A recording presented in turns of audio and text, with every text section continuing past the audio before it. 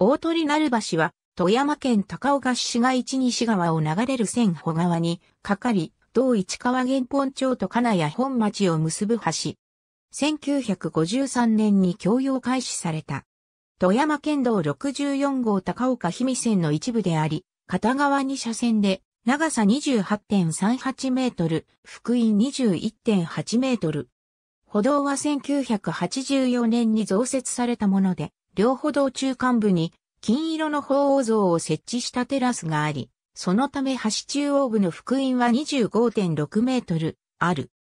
加賀藩の二代藩主、前田利長が高岡会長の際、町名を中国の司教の一節である、法をなけり、彼の高き丘に、五道小図、彼の朝日により命名しており、大鳥鳴橋の名称も1935年頃に、架けられた初代の木造橋に、この一節の法王なけりから名付けたものである。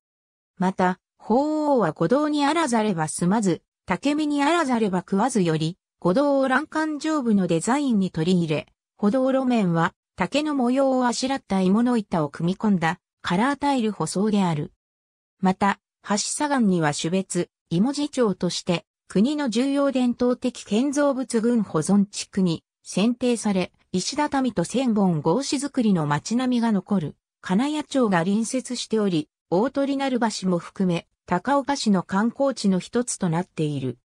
これらに由来し歩道を増設した1984年には、高岡市政100周年を記念し、両歩道中央テラスに向かい合った1体の高さ2.75メートルの金色鳳凰像を設置した。